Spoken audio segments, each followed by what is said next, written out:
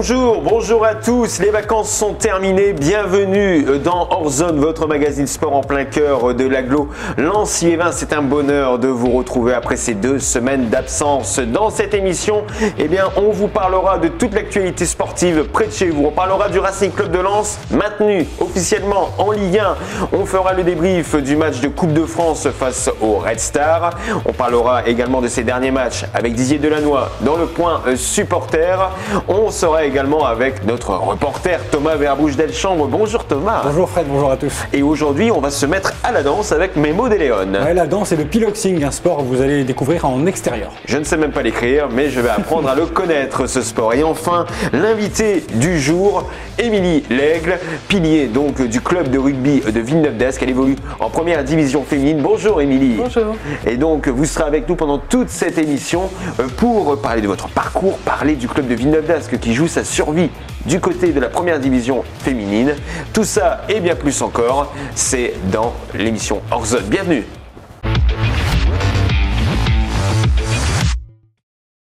Et on commence donc cette rubrique avec une mauvaise nouvelle pour les 100 meilleurs. Donc les Lensois se sont inclinés 3 buts à 2 le week-end dernier sur la pelouse du Red Star alors qu'ils menaient 2 buts à 1. Ils ont tout simplement encaissé 2 buts dans les 10 dernières minutes. C'est donc une élimination pour les joueurs de Francaise qui ne passent pas ce tour de Coupe de France. Heureusement, pas de blessures et pas de nouvelles arrivées du côté de l'infirmerie. Il faudra se concentrer sur le championnat avec le match Lens-Metz qui sera retrouvé dimanche à 15h dans un stade Bollard vide. Et on parlera du Racing Club de Lens avec Didier Delannoy dans le point supporter RCL. Quid de la Nationale 2 Thomas, c'est vrai qu'il y a une situation un peu floue actuellement du côté de l'équipe B du RC Lens. Et donc on reçoit souvent cette question, quand est-ce que la N2 va reprendre? Eh bien, pas tout de suite, malheureusement. Le ministère des Sports a annoncé tout simplement le nouvel arrêt du championnat de National 2, mais également du championnat de France de deuxième division féminine.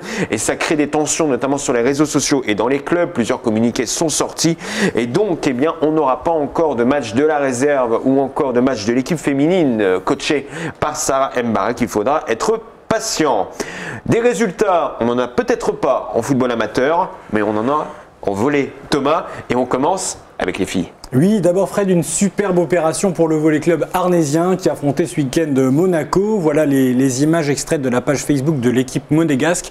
Vous le voyez en haut, c'est écrit un volleyball, mais c'est bien le volley club arnésien. Euh, Monaco s'est un peu trompé sur les, titrages. Bref, résultat de ce match 3 points empochés par les arnésiennes, 3-7 à 1, avec dans le détail 17-25, 15-25, petite frayeur dans le troisième set 25-22, et enfin carton plein dans le dernier set 12-25. Les filles sont troisième de leur poule. Prochain match si tout va bien la semaine prochaine, le 20 mars, à domicile face à Quimper. J'ai toujours adoré le maillot de Monaco. C'est incroyable. Oui, c'est vrai. Vous en parliez tout à l'heure, vous aimez Monaco. J'ai toujours adoré ce maillot barré, euh, ça me fait rêver. J'adore également ce maillot, c'est le maillot du Arne Volleyball chez les hommes. Et justement, c'est la saison parfaite, Thomas. Et oui, 13 victoires sur 13, aucun match perdu, une logique du coup première classe. Et la 13e rencontre, c'était ce week-end face à Cesson-Saint-Brieuc. Voilà les images. Mais Cesson-Saint-Brieuc, cette équipe des Côtes d'Armor a été vite expédiée et mise en difficulté. En 3-7, l'affaire était réglée. 25-17, 25-20, 25-14. Les Arnésiens affronteront ce samedi Lyon au Petit Palais de Gerland. Un déplacement à suivre dès 16h en live sur la page Facebook, non, la page YouTube pardon, du Hand Volleyball.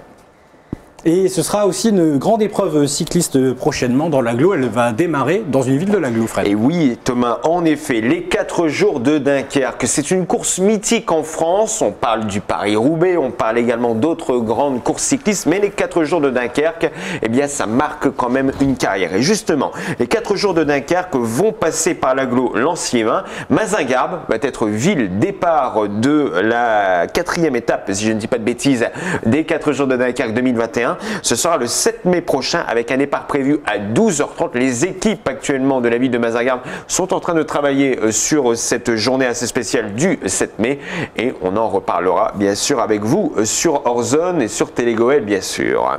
Et jusqu'où pouvons-nous aller? Non pas dans la grande boucle, mais pour prendre soin de votre cœur, Thomas Eh bien, jusqu'au parcours du cœur connecté, Fred. La Fédération française de cardiologie organise cet événement 100% numérique du 13 mars au 30 avril. Alors, de quoi s'agit-il Bah, C'est tout me le simplement rappeler l'importance de faire du sport pour diminuer les risques des maladies cardiovasculaires. Les personnes inscrites pourront comptabiliser leur pas journalier sur la plateforme parcoursducœurconnecté.fr. Pour participer, rendez-vous donc sur le site. L'inscription s'élève à 2 euros et vous recevrez en plus un e-dossard et un e-diplôme à télécharger. Ah ben, ça me donne vraiment envie de, de participer. Inscrivez-vous sur le, sur le site euh, parcoursducœur.fr. Je me souviens en plus, euh, vous avez réalisé un reportage. euh, C'est vrai, ouais.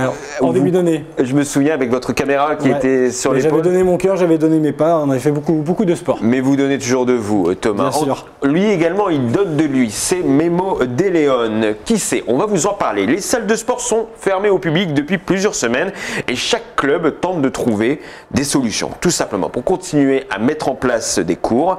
Et pour le club Génération Danse de Vendin-le-Vieil, c'est fait puisque des cours sont proposés en semaine par le coach Memo Deléon et il s'est bougé pour vous tout comme Thomas Verbouche d'Alchambre. C'est le reportage de Horzone, c'est le clapping.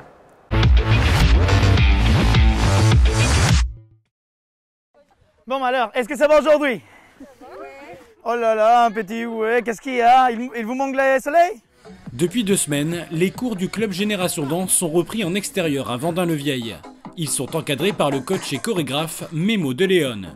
Aujourd'hui, c'est du piloxing avec du renforcement musculaire et ça va être vraiment cool. Et ça va demander beaucoup le cardio et la musculation. Mélange de pilates et de boxe en groupe et à proximité du collège Braque de Rousseau. Ces cours attirent entre 10 et 25 femmes à chaque séance. On a remarqué qu'il y a des- pas mal de clubs qui reprenaient aussi, donc on s'est renseigné au niveau de la mairie, savoir si on avait l'autorisation d'exercer. Et on nous a dit qu'en extérieur, c'était possible. Possible sur cet espace où la distanciation est respectée et le port du masque obligatoire quand une pause s'impose. Les exercices n'ont pas repris en salle depuis le mois de novembre pour les adultes et janvier pour les enfants, mais Laurine, en service civique à Génération Danse, continue à faire vivre le club. On prépare les projets à l'étranger. Et en ce moment, avec le Covid, comme c'est assez compliqué, on prépare des chorés euh, pour toute génération dans son visio. Et c'est cool.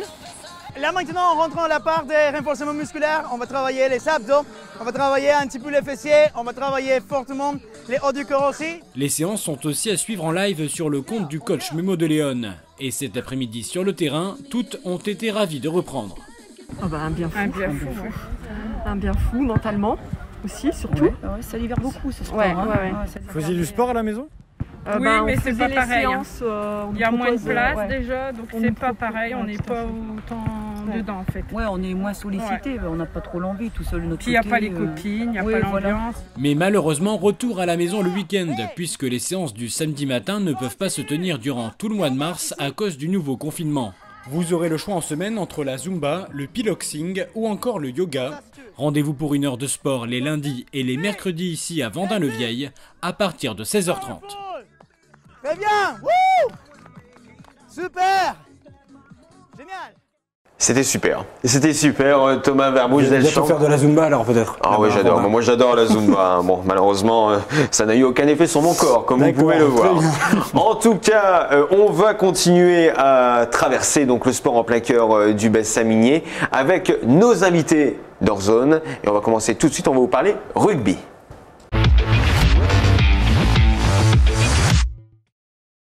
Émilie Lec, bonjour. Bonjour. Vous êtes joueuse au sein du club de rugby de Villeneuve d'Ascq, du rugby féminin dans le Nord-Pas-de-Calais. Oui, ça existe. Vous évoluez en première euh, division. Comment vous vous êtes dirigé vers le rugby féminin? Par hasard, en fait, euh, j'ai rencontré euh, une fille qui faisait du rugby à Lens à l'époque, il y a 15 ans. Et du coup, j'ai suivi. Je me suis inscrite et euh, j'ai pas arrêté depuis. Est-ce que c'est facile aujourd'hui de pratiquer le rugby dans le bassin minier? Euh, non, pas trop. Euh, là, pour le coup, il faut aller euh, dans la métropole lilloise parce qu'à Lens, il n'y a, y a pas. Il y, a, y a un club à Arras, mais euh, dans le bassin minier, euh, rugby féminin, il n'y a pas beaucoup. Non. Comment se sont passées vos premières années? Vous avez en partie été formé du côté de l'ancien club de Lens. C'est ça, ouais. J'ai commencé à Lens. J'ai joué euh, à Lens pendant 4 ans. Donc c'était euh, au début du 7 développement pour euh, permettre au club de se développer. Ensuite on est passé à 12. Et ensuite j'ai eu envie d'un peu plus. Donc je suis allé jouer à Arras où c'était du rugby à 15. Ensuite, euh, j'ai arrêté parce que j'ai eu une petite fille. J'ai repris du côté de Marquette-les-Lilles parce que j'avais une amie à Marquette-les-Lilles. J'avais envie d'un peu plus, donc je me suis dirigée vers Villeneuve. J'ai commencé en réserve et par un effet d'opportunité, je suis arrivée en élite parce qu'il manquait de piliers. La première division, donc, c'est votre combat euh, toutes les semaines, donc avec le club de Villeneuve d'Ascq. D'ailleurs, chose assez étonnante, il y a encore des compétitions de rugby malgré la crise sanitaire. C'est ça, on prend toutes les précautions nécessaires, mais euh, comme nos homologues masculins en top 14, euh, on continue aussi les compétitions euh, féminines en top 16 féminin. Et donc Villeneuve d'Ascq joue un peu sa survie cette année en, cette saison 2020-2021. En plus, il y a ce contexte sanitaire qui n'est pas évident. Dans quelle position on se trouve quand on est joueuse, bah, quand on est même à votre place? Est-ce qu'on est confronté au stress toutes les semaines? Est-ce que ça va, on arrive à se mettre dans une bulle et à ne pas en sortir? C'est un peu stressant parce qu'on ne sait jamais si on va être contaminé, si on va contaminer le groupe ou pas, euh, mais on prend les précautions, on fait des tests antigéniques toutes les semaines. On fait des tests antigéniques aussi euh, 48 heures, il me semble, avant les matchs. Toutes les équipes le font. euh, après, euh, on s'adapte. Est-ce que sur le terrain, vous changez un peu vos, techniques, vos approches avec les, adversaires? Parce que les, on peut être qu'à contact facilement finalement euh, après un match. C'est-à-dire changer de plan de jeu ou de... Oui, changer de plan de jeu ou éviter d'être trop en contact avec quelqu'un parce Non. que c'est comme ça qu'on peut. Non, peut non, on change rien, on joue. On rentre dans le lard. Ouais, c'est ça. on joue. Ouais, change rien. En tout cas, Villeneuve d'Ascq continue de se battre. Donc, on l'a dit, c'est les playdowns actuellement. Comment s'est passée la première journée? Alors, euh, on a perdu le premier match euh, contre Lyon, malheureusement, à très peu de choses. Euh, là, on retravaille pour aller gagner euh, à Chili, parce qu'on a grillé notre joker. Du coup, il faut, faut gagner tout le reste si on veut pouvoir rester euh, en élite 1. On connaît donc le top 14, vous l'avez dit, la première division masculine de rugby. Mais comment ça se passe pour la première division féminine? Est-ce qu'il y a des contrats professionnels? Est-ce qu'il y a une médiatisation aussi importante euh, que pour les hommes? Il n'y a pas une aussi grande médiatisation, même si euh, les matchs de l'équipe de France commencent à être un peu diffusés euh, à la télé. Les matchs euh, interclubs euh, sont pas trop visibles du grand public. Euh, c'est surtout un milieu amateur, Donc voilà, on- n'a pas de contrat à part quelques filles en équipe de France. c'est surtout amateur. Et donc, est-ce que vous pensez qu'avec l'arrivée de la Coupe du Monde en France en 2023, ça va booster justement le rugby féminin? On espère. euh, après, il faut que chaque club, euh, chaque club féminin euh, s'implique aussi dans cette Coupe du Monde pour se donner de la visibilité. Mais ouais, l'idée, c'est qu'on mette un coup de projecteur sur le rugby féminin autant que sur le rugby masculin. Est-ce qu'il y a beaucoup de joueuses comme vous qui sont issues du bassin minier et qui sont allées jouer en métropole lilloise ou même dans la Rajoie? Euh, oui, il y en a quelques-unes. euh, oui, oui, j'ai quelques amis. euh, Il y a notamment euh, Léa Gallet, donc, qui est capitaine de l'équipe de Villeneuve, qui est issue du bassin minier, qui est lançoise. Et puis j'ai d'autres amis avec qui je suis partie d'Arras vers la métropole lilloise pour jouer au rugby. Quel est euh, votre euh, projet? Est-ce que vous avez envie de vous implanter durement à Villeneuve d'Ascq et de, de rester là-bas? Ou vous avez quand même dans un coin de votre tête l'envie de découvrir peut-être d'autres challenges, d'autres équipes? Euh, alors, je suis plutôt en fin de carrière. du coup, je pense que je vais rester à Villeneuve parce que c'est là que j'ai retrouvé toutes les valeurs que je cherchais en fait. Et je parle pas parce que c'est du haut niveau, mais c'est parce qu'il y a une vraie vie de club, une, v- une vraie section féminine, euh, une vraie, euh, une vraie cohésion entre les filles, une vraie bienveillance. euh. c'est une très belle équipe qu'on a. Elles sont toutes très jeunes. Je suis la plus vieille, mais euh, c'est une très belle équipe et très prometteuse. Quel est le prochain match? Ce sera quand? C'est ce week-end à Chili-Mazarin. Donc on souhaite bonne chance euh, au club de Villeneuve. Est-ce qu'on peut suivre les matchs quand même en live sur internet ou même sur... euh, Il y a souvent les clubs qui reçoivent font des Facebook Live, euh, du coup pour compenser un petit peu euh, le manque de public euh, présent, on fait des Facebook Live.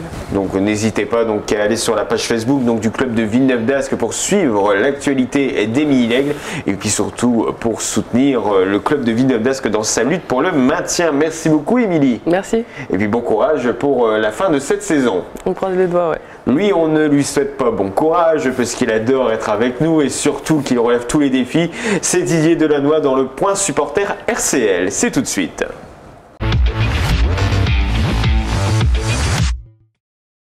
Didier Delannoy, bonjour. Salut Fred. Bonjour Thomas. De, leader intérim, tout se passe bien. Vous revenez donc dans ce point supporter RCL, donc pour revenir sur les dernières rencontres. La dernière émission d'Orzone remonte à trois semaines. Il s'est passé beaucoup de choses. Lens est maintenu.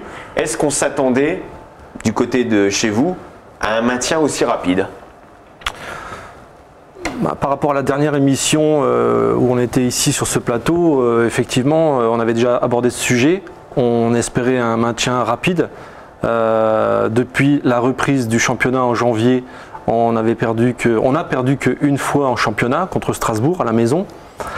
donc qu'on soit arrivé à 44 points là à 10 journées de la fin, c'est exceptionnel. Encore une fois, je réitère mes félicitations au board, à l'ensemble du club et, surtout au staff. Ils ont fait un travail, ils font un travail extraordinaire et il y a un gros challenge qui s'annonce devant nous avec les dix dernières journées euh, où on peut espérer euh, peut-être euh, pas 30 points bien sûr parce qu'il y a 30 points à prendre mais peut-être la moitié. Ce qui fait qu'on arriverait entre 55 et 60 points, peut-être une place européenne mais bon c'est pas l'objectif en fait. Il faut pas avoir cet objectif d'une place européenne selon vous? Pour moi non, il faut pas prendre cet objectif, il euh, faut, faut, le prendre comme un challenge. On dit toujours plus si affinité, euh, il y en a un qui était malin là-dessus, c'était euh, Giroud. Hein, pendant très longtemps, tous les ans, il nous bassinait avec on joue le maintien. Et puis il a réussi à faire doubler Coupe Championnat, Coupe, coupe, de France Championnat, des Ligues des Champions. donc je pense qu'il faut garder cette humilité qui refait euh, la force de notre club. Comme Émilie a parlé de valeurs, euh, c'est la base, je pense, du sport et notamment euh, du RC Lens. Sur ces valeurs, il ne faut pas se prendre pour quelqu'un d'autre. Calendrier chargé donc pour le Racing Club de Lens qui commencera ce nouveau parcours dimanche contre le FCMS. Juste avant, il y a eu la défaite en Coupe de France contre le Red Star. Mmh. C'est un coup d'arrêt ou c'est un accident de parcours selon vous? C'est juste un accident de parcours. Un match de Coupe de France, c'est complètement différent du championnat. Le contexte est totalement différent. Vous avez bien vu, on a joué dans un stade champêtre un samedi après-midi. Stade euh, Bauer. Oui, mais bon, un, terrain synthétique. Sincèrement, euh, j'ai vraiment pas aimé du tout ce, match, les conditions en tout cas. Pour en avoir parlé aussi avec euh, Lilian Alice, l'entraîneur adjoint, c'est pas du tout pour se trouver des excuses, mais sincèrement, on avait l'impression que c'était un terrain de ping-pong. Le, ballon, il rebondissait sans arrêt, c'était compliqué à poser. Alors Lens qui a l'habitude de jouer au sol en, remontant le terrain très rapidement, c'était très très compliqué. Ce qui fait après, euh, bon, on est encore dans le sport, mais c'était des buts de billard euh, pour le Red Star. Les deux derniers buts, on peut les regarder à nouveau, c'est des buts euh, billard. Voilà. Et après, c'est un coup d'arrêt. Et donc, est-ce que justement ce Racing Club de Lens peut se remettre dans le bon sens et surtout retrouver son, son jeu oui. après une défaite comme celle-ci Oui, tout à fait, euh, parce que dans le contenu, on a, on a bien senti que les joueurs n'ont pas, pas triché, n'ont pas levé le pied. Il y a eu un excès de confiance lorsqu'on menait 2-1. Euh, c'est normal, je pense. Euh, on a levé le pied, on pensait que c'était suffisant pour, pour prendre la qualification. Puis bon, même nous, supporters, on, le pensait. Mais à la fin, on est juste un peu déçus. Mais je vais dire qu'il y a une sorte de malédiction pour, envers le RC concernant la Coupe de France puisque moi, depuis une petite cinquantaine d'années que je suis fan euh, de ce club, j'ai assisté à la finale de Coupe de France 75 qu'on a perdu contre Saint-Etienne, à la finale bien plus tard en 98 contre le PSG, qu'on a perdu aussi. Euh, et il faut savoir que depuis six saisons, donc de la, saison 2015-2016, une fois on a été éliminé par une Ligue 1, c'était Reims. Sinon, cinq fois on a été éliminé par deux fois des nationales deux fois par la National 2 et une fois par National 3, qui était Dieppe, si je ne m'abuse. Euh, donc euh, ça devient un peu rengaine, en fait, on va dire, sur ces matchs contre des équipes hiérarchiquement inférieures. Et encore une fois, c'est le charme de la Coupe. On l'a vu avec Marseille, Lorient. Euh, c'est très compliqué la Coupe de France. Et je pense que le niveau se nivelle par le bas parce qu'il y a énormément de clubs euh, de national, de, C- enfin, de, de national effectivement, qui ont des joueurs qui viennent justement de centres de formation. Donc avec une certaine revanche, euh, ils ont la qualité tactique, technique. Après c'est l'envie, la motivation. En tout cas, pour la Coupe de France, il faudra attendre l'année prochaine pour espérer faire mieux. Mais pour le championnat, ça reprend dès ce dimanche contre Metz. Vous vous attendez à quel type de match face à des Messins qui sont dans la même catégorie que les Lensois? Un promu qui surprend un peu tout le monde. Est-ce que ça va être euh, vraiment un, match où on va avoir deux équipes assez similaires s'affronter? C'est pas du tout deux équipes similaires. Euh, Metz est beaucoup plus rugueux. Euh, Là-bas, on a, perdu, mais on a joué contre euh, le mur de Metz, on disait, hein, un bus. J'ai peur que ce match soit serré, fermé. C'est une équipe qui va accepter d'être acculée, à mon avis, par, notre, notre équipe du RC Lens. Et ils vont se projeter certainement très très vite vers l'avant. En contre En contre. Donc il faudra vraiment être très très fort défensivement. Euh, on a bien vu au match, euh, dernier match à Saint-Etienne. À Saint-Etienne, on gagne 3-2. Euh, Je- Jean-Louis Leca a eu très peu d'arrêts à faire. Euh, il, a juste à lui- a- a- il a juste dû aller chercher les deux buts au fond des filets parce que sinon il n'y a pas, pas ré- réellement eu d'arrêt à faire. Donc là, il faudra vraiment être attentif, sérieux, rigoureux. Et peut-être que ça peut être une forme de déclic si on repense euh, par le passé. euh, on a toujours été euh, vainqueur bien souvent contre Metz. Donc j'espère que là on va les battre. Même je signe tout de suite un, un 1-0. Et puis derrière il restera 9 matchs compliqués, match après match. Dernière question, euh, Didier Delannoy. On a vu le retour de Cheikh Traoré qui était blessé depuis euh, l'intersaison, mais dans l'autre sens, quelquefois, on a des petites alertes pour certains cadres. Pas des alertes trop graves, mais voilà, des risques de blessures qui se font de plus en plus sentir. Est-ce que la fin de saison du Racing Club de Lens va dépendre justement de cet équilibre instable au niveau des blessures? Et j'ai même envie de dire au niveau peut-être des éventuelles suspensions s'il y a des cartons jaunes et des cartons rouges qui arrivent. Non, sincèrement, je ne pense pas parce que quand on voit le match de Saint-Etienne, on avait tous un peu peur lorsqu'on a vu que Kakuta et euh, Ganago. Ga- Ganago, mais surtout Doucouré au milieu de terrain euh, n'étaient pas présents. Donc déjà au milieu de terrain, Kakuta et Doucouré absents, on se disait oula ça va être compliqué. euh, faire nul à Saint-Etienne, ça serait déjà pas mal. Surtout que Saint-Etienne avait vraiment besoin de, gagner. Et tout compte fait, euh, le coaching encore une fois de, de Frank Hayes a été euh, extraordinaire puisqu'il a mis une équipe en place solide, cohérente, avec un jeu posé qui allait vers l'avant. Son coaching aussi a été extraordinaire puisqu'il fait rentrer euh, euh, Michelin euh, qui donne un centre, une passe décisive au jeune Pereira qui marque son premier but en Ligue 1. Euh, euh, c'est extraordinaire. L'histoire, est, elle, est, elle, est, elle, est, elle est belle. L'histoire est belle. Donc je pense que avec ce groupe cohérent, soudé, on peut faire une fin de saison inattendue. Et le premier match de cette possible fin de saison inattendue, ce sera dimanche. Donc Lens-Metz, un match à suivre à partir de 15h, donc dans un stade Bollard à huis clos. Et un match qui sera sûrement à suivre sur RBM et RBM996.fr. Et c'est sur ces belles paroles d'espoir que l'on va se quitter. Hors zone, c'est terminé. Merci d'avoir été avec nous. Merci à toute l'équipe pour la réalisation de cette émission.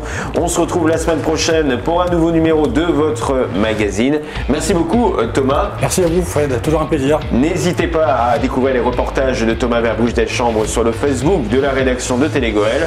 Je vous dis à la semaine prochaine. N'oubliez pas vos baskets et je ne l'ai pas perdu, il est encore là. Restez prudents, continuez à respecter les gestes barrières et surtout, surtout, surtout, On n'oublie pas son masque. n'oubliez pas son masque. À très bientôt. Ciao, bye bye.